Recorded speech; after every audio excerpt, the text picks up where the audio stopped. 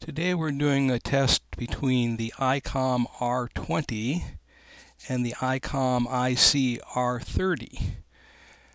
I drove about a three mile loop and stopped at various locations along the loop and uh, let's try the R30 at the first or the R20 at the first location.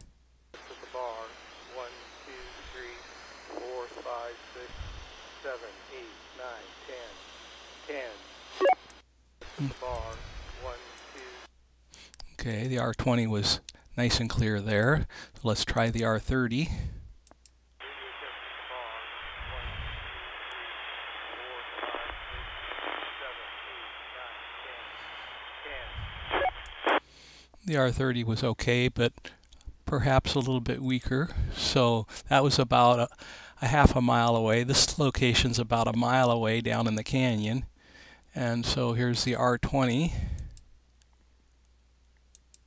Test the cow. One, two, three, four, five, six, seven, eight, nine, ten.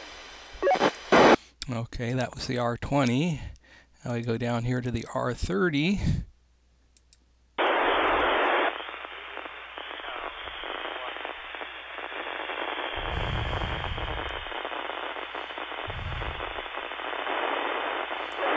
Okay, that was pretty poor. You could hear it just barely, and and the uh, the sign off beep.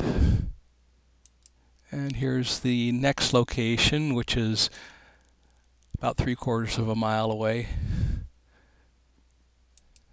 Radio test of the sign. One, two, three, four, five, six, seven, eight, nine, ten. Ten. Okay, the R20 was solid there. Now let's try the R30. Radio test of the sign. One, two, three, four, five, six, seven, eight, nine, ten. Ten.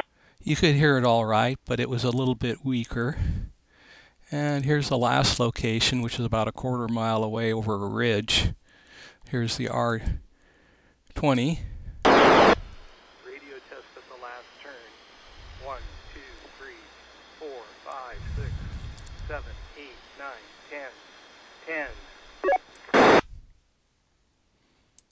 Okay, and here's the R30 at the same location. One, two, three, four, five, six, seven, eight, nine, ten. Ten. This was done at family at the uh, family radio services frequencies, and the uh, the old R20 is clearly the victor over the new R30.